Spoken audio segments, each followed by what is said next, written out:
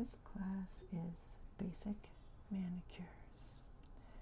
Now, I know a lot of you are interested in nail art. Um, that is the advanced class, so this is the prerequisite. This just will go over a lot of the basic things you need to know. Uh, we'll cover basic services that you'll deliver um, when you work in a salon or if you have private clients. A lot of these things you may already know just from your own experience, you know, doing your own nails or friends' nails, but this is just to give you a good um, framework for your further studies. So there is no text for um, this portion of the class. We will use, be using some handouts. We have some templates. These can come in very handy. Nail art design. You can use these to practice when you get to the nail art pieces. And you can also actually apply polishes and things like that on these to practice.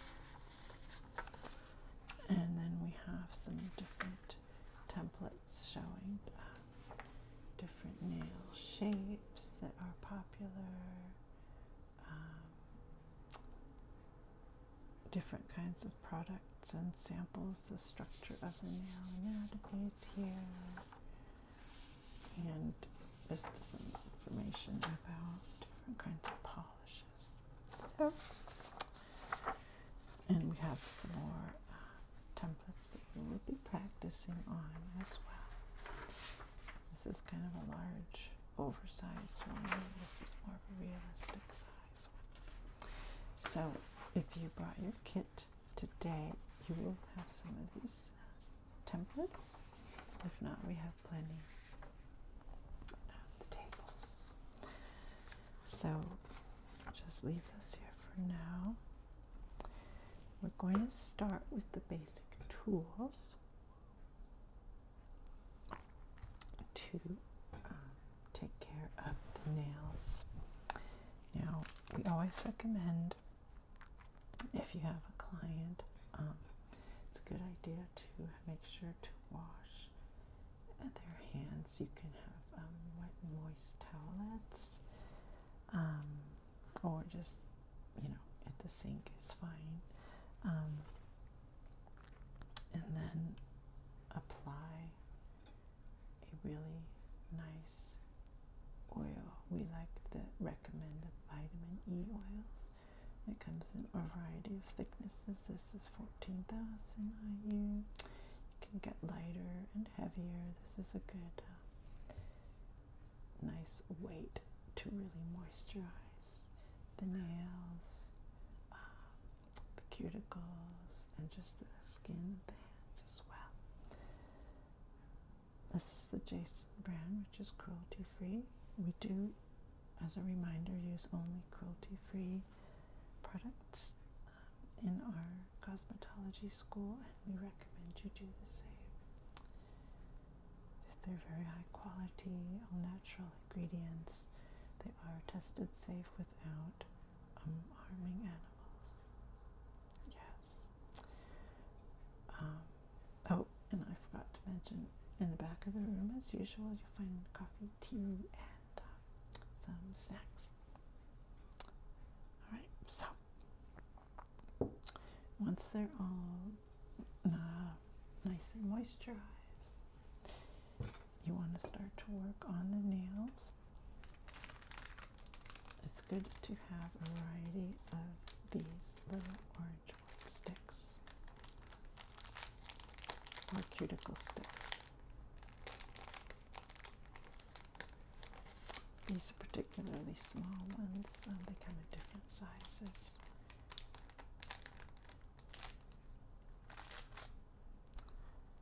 And they've got the pointy end and this beveled end there. So with the beveled end, that's what you can use to push down the cuticles. Now, if the cuticle area is um, needs a little more moisturizing than the vitamin E, uh, you can soak them in an oil like this or a special uh, cuticle oils as well. Sometimes you want to soak for five or ten minutes, just depending. And the pointy side can also be used to push down difficult areas, can also be used to clean if you need, need a little extra cleaning um, underneath the nail. It's just an all purpose versatile tool to have. So once you've shaped, got your cuticles all shaped, you need to take time to do each nail. Um, if you have any pieces, there might be some dry pieces. You can use a little clipper like that sometimes, or a very fine uh, uh, scissor. Usually a little clip works well. If you want to shape the nails broadly, some people like clippers. I happen to prefer uh, nail scissors myself. It's worth investing in high quality scissors. I like the ones from Italy or Germany. Wonderful blades, sharp. At least twenty dollars for a really good pair. And you want to get various sizes. You want to get the straight. You want to get a curved because everybody's nails are a little bit different. And it's nice to have a variety to um, meet the need that you might have. So, and then once you have the basic um, shape, you're not going to get the exact shape with the scissors or the clippers. You use a file, some like the metal files. I tend to like these more traditional files. This side is a much finer, it's like a sandpaper, but very, very fine. And this is a little coarser. The coarse side is what you use first because you want to bro- just broadly get the shape that you want. It takes off more of the nail at one time. So you go around like that, and then you do the other side. So we're not going into too much detail because I know a lot of mo- most of you, probably all of you, have done this, you know, yourself. So don't need to go over that too much. But the main thing to know is um, don't saw back and forth. You tend to get an uneven, uh, rougher edge. You want a very smooth edge. So you want to just go in one direction like that. And then once you're very close to the shape you want, you can use the other side to refine the shape even more. It's very fine. And this will smooth any rough edges. Always check that you don't have any rough edges. Sometimes a client will leave and then, you know, snag their nail on their on their scarf or their hose or something. You don't want that. So sometimes I'll actually check with a fine piece of uh, fabric and just run it along with like a piece of satin or silk and make sure there's nothing that catches. Okay. Um, let's go over the shapes. Just this is probably more shapes than you might run across in day to day clients. but it's good to know that they're out there and it's you know it's always changing fads and fashions and styles. Excuse me, I'm kind of thirsty today. Um, so we've got the natural, which is basically what I have. It's kind of general round, rounded, not too high, away from the finger pad. Then there's the oval, which is a longer nail, sort of the same oval shape at the top, it's just more extended. Square is longer and squared off at the top, as you see here. This is called a squoval. It's a made up word between a square and an oval. So it's square, but the edges have been rounded. So flat across the top with slightly rounded edges. And we've got the almond, and that is probably closest to the oval, except with a more of a point. Not a super sharp point, but just more of a pointed end. Um, round, it's got cut off a little bit, but round is basically like the natural, but just left longer. Now we've got a little more unusual ones down the bottom row the stiletto. That's like Elvira or something. Elvira, Mistress of the Night, whatever her name. She had that late night. She was a host of a late night show. Mistress of the Dark was that it? anyway, occasionally people want this for a very dr- dramatic effect.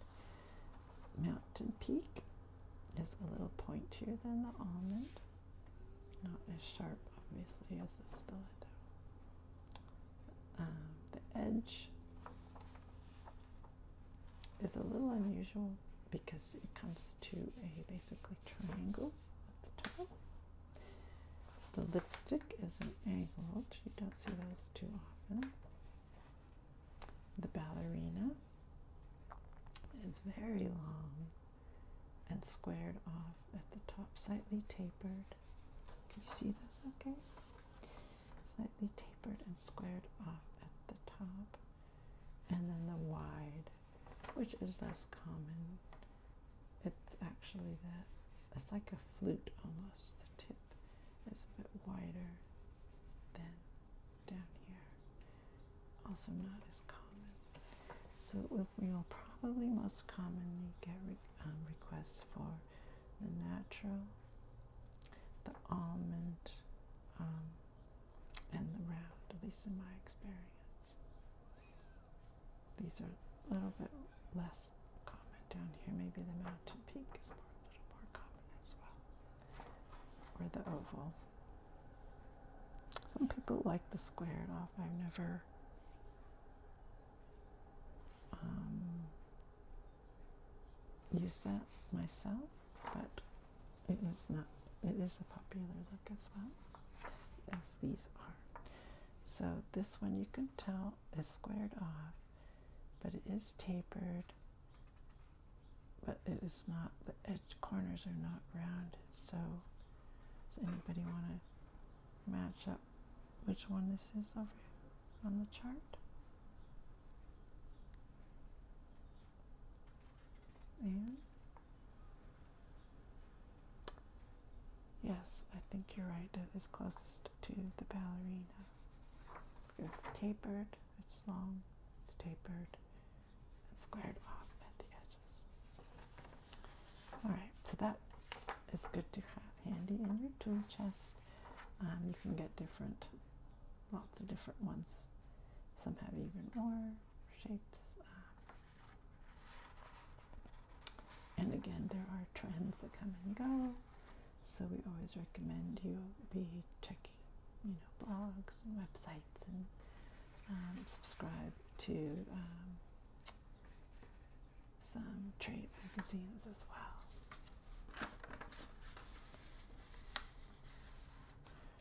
This one actually has the um, more common shapes. They've got the oval, the rounded, the square, the squoval, the almond.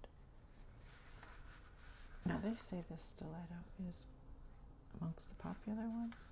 This one is a little less dramatic than that. But you can see, according to this sheet, they consider those the most common.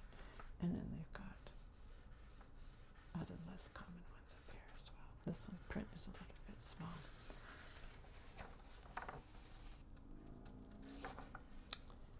We won't get into the nail anatomy um, in this course, but I think in uh, the advanced course we'll get into that a little bit more. Okay, so we've got our nails shaped, smoothed off, and before you apply any polish, you want to make sure there's no traces of the oils. Now, the oil is great for the skin, the cuticles, but it needs to be removed before applying any polish. So you can um, either have a little moist towelette or um, at your station or a little cup of warm water that you can just use a little cloth to wipe off the nails. Um, but a moist towelette is good with some witch hazel. It's inexpensive. And that makes sure to get any oils off the nails before applying anything. Um, and if they do have uh, nail polish on already, forgot to mention that, we do recommend um, there are lots of brands of natural uh, acetone free. We always recommend acetone free. There's different scented one. This is spring bouquet scented. Of course, you can get unscented as well. You should always ask the client if they prefer unscented. This has organic plant-based ingredients, conditioning essential oils. Is safe on natural and acrylic nails. This works um, pretty quickly.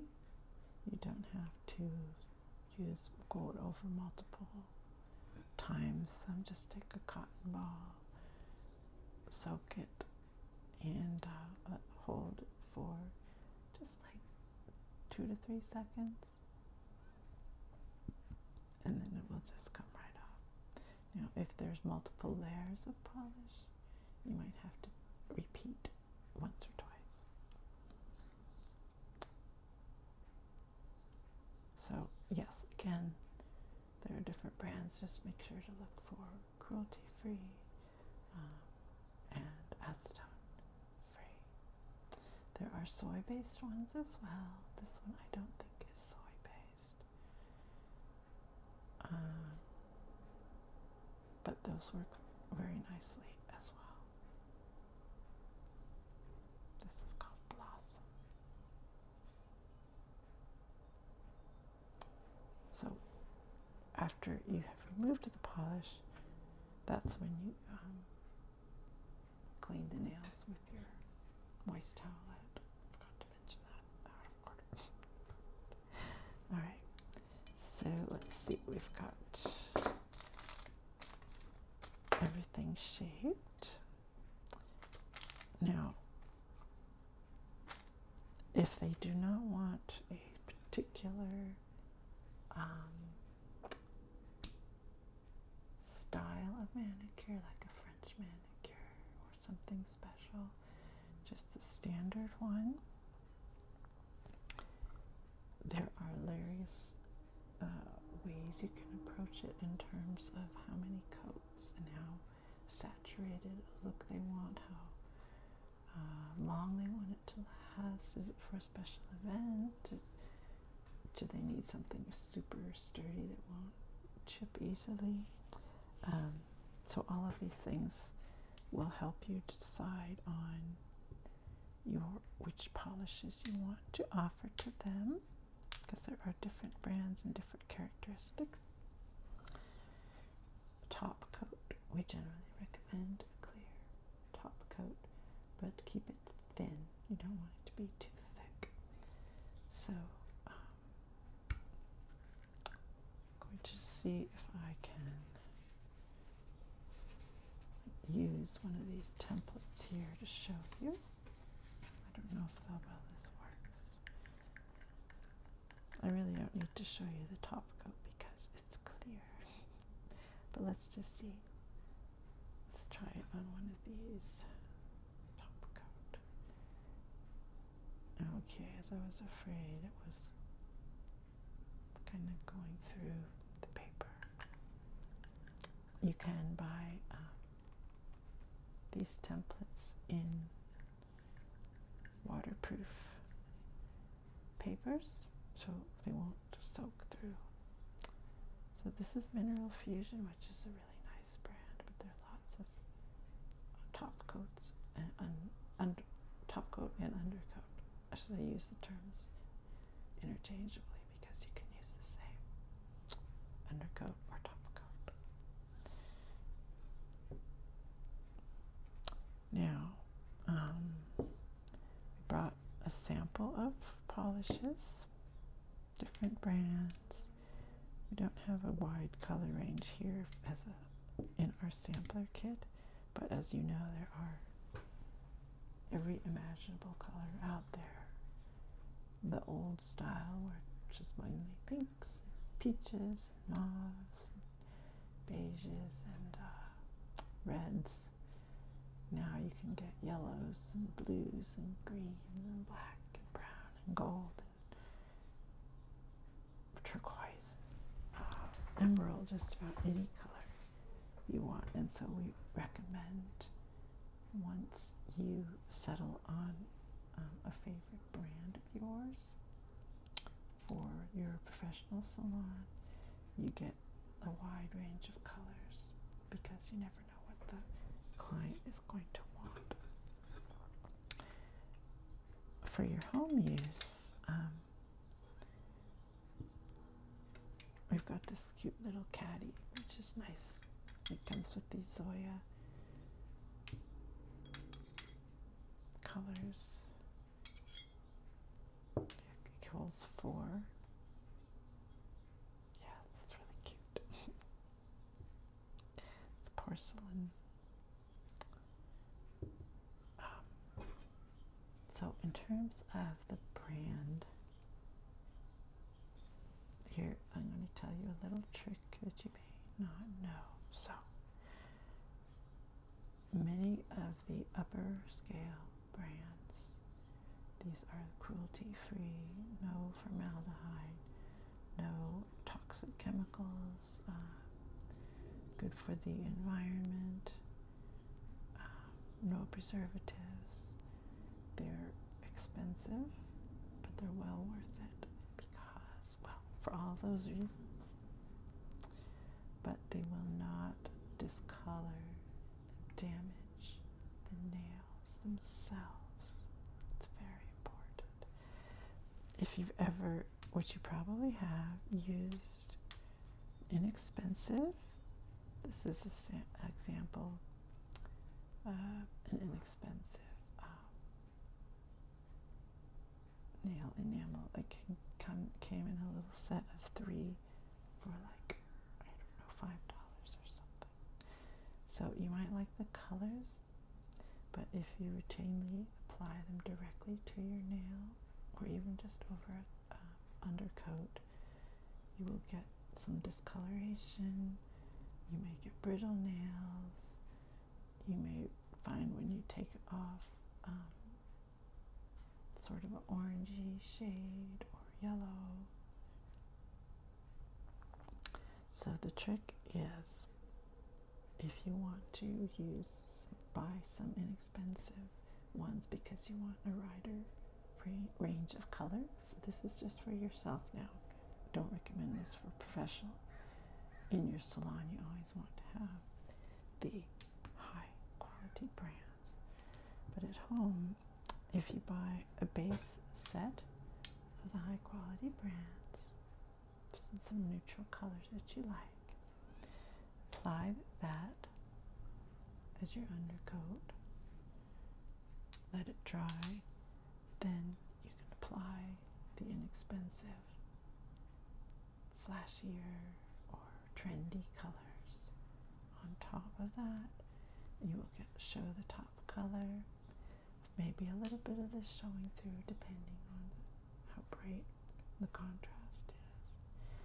But this will protect your nails from this. So that is my little tip for you.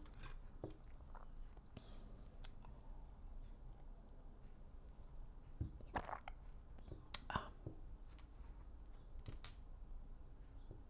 it took me a lot of years to figure that out on my own, by the way. I don't know if that's in any maybe it is, but I just figured that out over the years. But I, maybe everybody else knows it. I don't know. So that's Physicians Formula. I think these were purchased at a grocery outlet, so sometimes you might be at CVS or um, Walgreens or something like Target, and you might say, "Oh, that's pretty color," you know, it's 1.99 just remember that um, you can try it for the fun colors. Just put it over high quality base coat to protect your nails. So this is Karma Hues, no toluene, no formaldehyde, no DBP. So there's a lot of toxic chemicals are used in um, some of the nail colors sometimes. So this is just a sampling of different um, brands that we have for the class, so you can practice it. There's that one. SC is kind of a popular um, mid-range brand. It's separated a little bit. I think it's getting old. We've had some of these in the studio for a while. This is sort of a pale apricot, I would say. Um, Mode is a nice brand. Their shades go by number. This is one one five. The nice thing about that is you don't get hung up on the name and thinking how the name reflects the color. So you might call this like uh, pale shimmery peach or something, and somebody might have an idea of what that means, and think that means something else. So this way, it's just a number, and you can see the color and decide for yourself. So I like these mode ones as well. This I think we've had forever is this Revlon, which is not a cruelty free brand, so it is the only bright red, classic red we have in the studio. We've had it forever. Um, there are a million shades even of classic reds. So you may find yourself having like half a dozen red shades in your collection, or even a dozen, depending on uh, your clientele and what they like, your age group that you serve, etc., etc. All right, so let's see. We're going to try. Okay, so that's nice. It did the clear did not um, soak through too much on the paper. So we can try this one and we can try this one. Let's see. So I am going to suggest to show you what I mean. We'll take one of these um, Zoya polishes. Always give it a good shake. A lot of the polishes, by the way, come with a metallic um, sh highlights, shimmer. Like they used to be, there was just shimmer or there was flat or matte. But now a lot of them have a metallic shimmer to them. So there might be a gold shimmer or a silver shimmer uh, or bronze or something. So that can make a difference in the end result. So make sure what you offer to the client. Some people do not like the metallic shimmers, in which case you just want to get a glossy, if they want a glossy finish but no metallic, make sure to get the no metallic for that. So it's just another thing to be aware of is the metallics. They're sort of popular right now.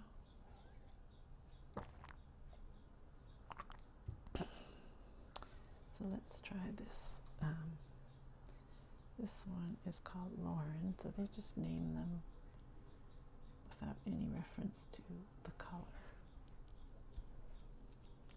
What color nail polish is Lauren? I don't know. So I would call this a kind of a buff mauve with a hint of pink.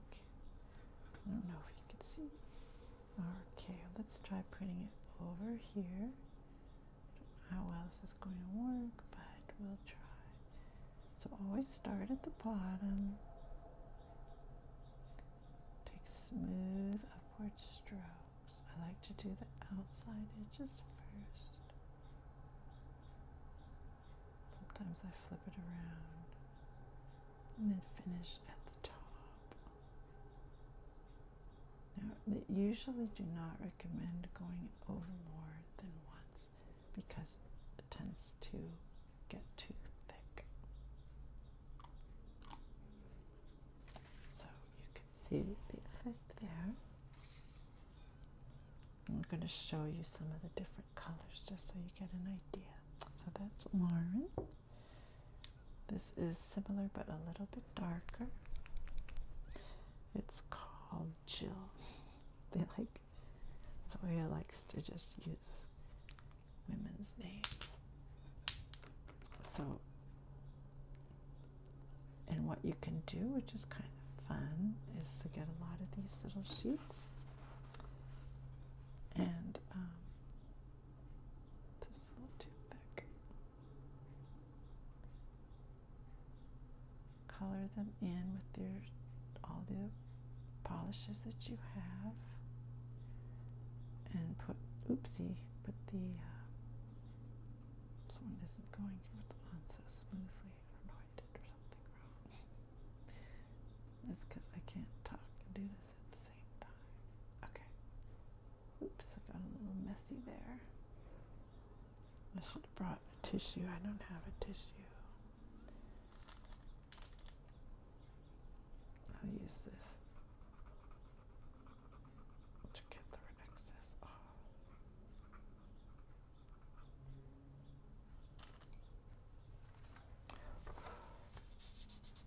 Oh well. So you can see how that is quite a bit darker than that one.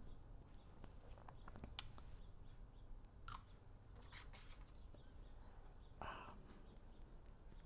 what I saying? I forgot. And now we will do Zana, which has a little more purpley. Oh, I know what I was saying.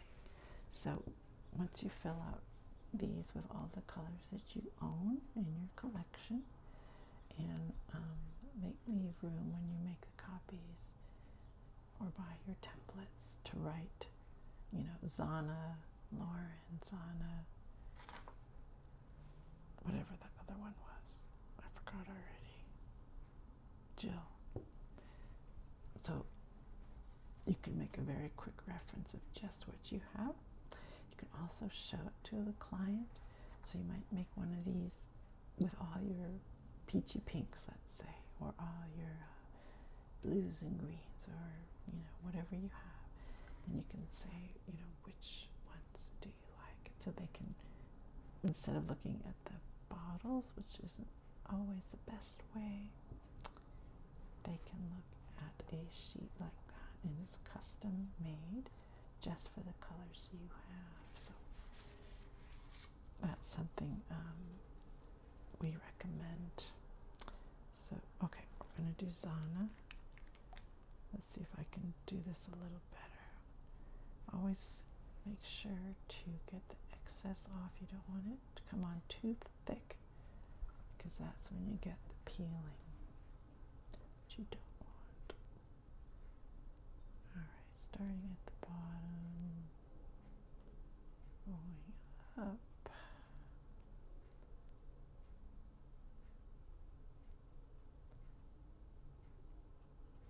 And these good quality ones don't smell as awful as some of the other ones. That's another nice benefit. All right. There we go. Now this one has a bit more of a rose hue to it, but it's still kind of a neutral side. And then the last Zoya one we have for today is Clementine. Definitely more pinkish, um, really orange. And I think this one has a gold metallic in it. I don't know. Pinkish orange, I guess I would call it. But sometimes it looks different on the paper than it does in the bottle. Let's see, there we go. Okay. You guys getting hungry? Feel free to go back and grab some snacks if you want. Anytime, you don't have to wait for a break. I think today we have some uh, bagels and um, some strawberries, I think, and coffee and tea and some juice. I think we have orange juice as well. So that's a pretty color, but I, I tend to be partial to those peaches, peachy pinks. now we have the thumb. Um, but we only Zoyas today. So I'm going to, we only have one of these mode colors. This is new to our collection at the studio. So you get to be the first class to see this. It's a really pretty color.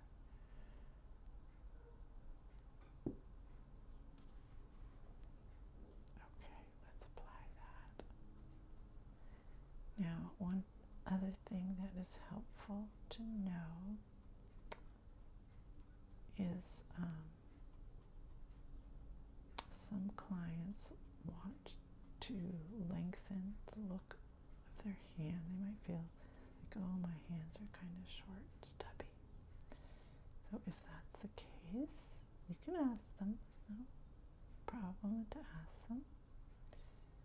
Um, then you want to get color that's very similar in tone to their skin tone.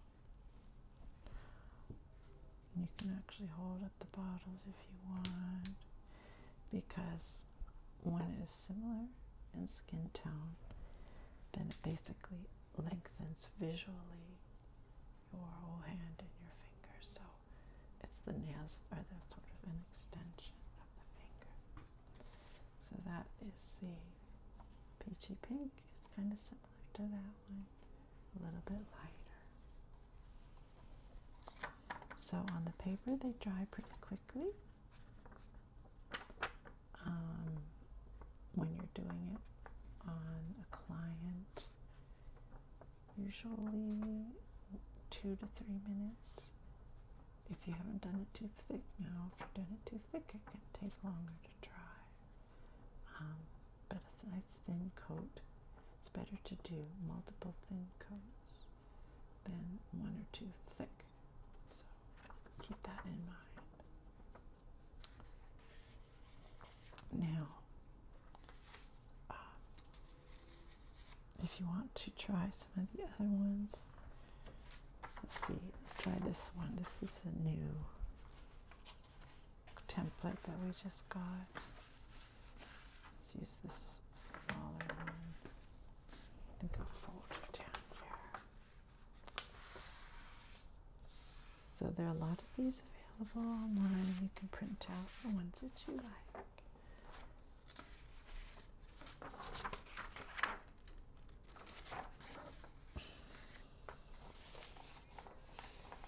Anybody have any questions so far?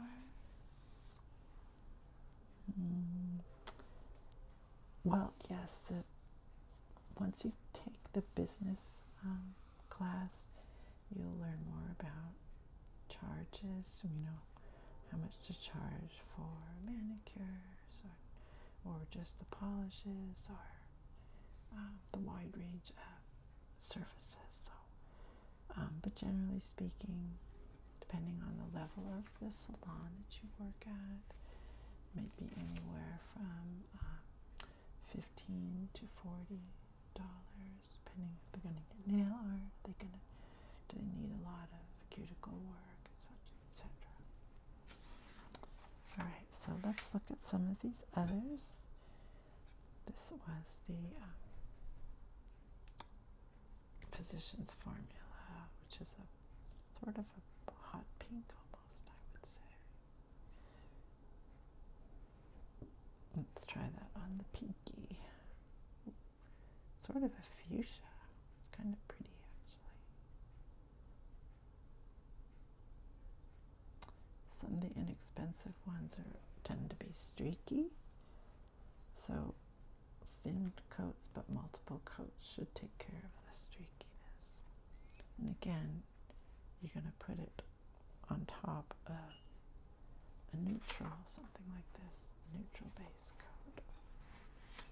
I like that, that looks pretty. Let's do um, the Karma Hues. This is called First Kiss. What was the name of this one? California Goddess. That's California Goddess. So this is First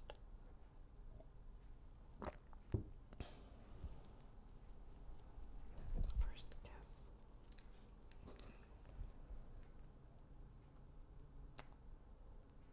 And this one, kind of, I don't know what you would call this. It's in the orange family, pinkish. We do tend to have a lot of pinkish orange again. Um, we found that had a lot of these samples for a long time, and um, those are the most common color families tr- traditionally. So we still reflect that, and I think it's probably true. You know, younger women maybe like to fool around with the blues and greens and black and purple or whatever. But you know, if you're in the workplace, you're probably going to go for something a little more traditional. This, depending on where you work, of course. If you work in a record store, go wild. So the Essie is similar in shade. It's another kind of peachy pink. And another good thing about um, doing this is you get a feel for the different brands. How thick or thin are they? How much do they streak? Uh, how easy do they go on? Some go on easier than others, and you'll just learn as you try the different brands. So that's why this class is so nice because um, you, without investing a lot of money, you get to try all the ones we have here.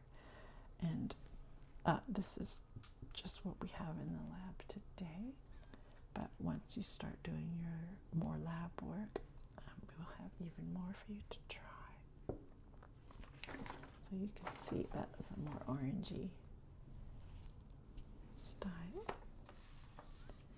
And do we get all of them? One, two, three, four, five, six, seven. One, two, three, four, five, six, seven. No, we forgot the red. All right. This gal is going to be all set to party with her multicolored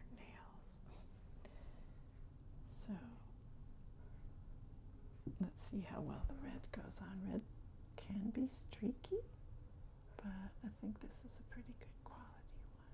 Let's see. Sometimes you'll get streaks if you haven't shaken it well enough, so make sure to shake very, very well. That's a nice red. And I think I did all the colors, so we'll give her a red thumb as well.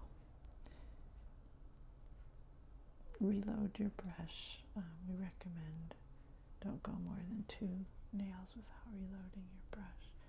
Again, depending on how long the nail is and how thick the polish is. Because it's not good to have to reload your brush in the middle of the nail. Oopsie. I don't have a good angle here. Let's see. I'm having trouble with this one because it's so narrow.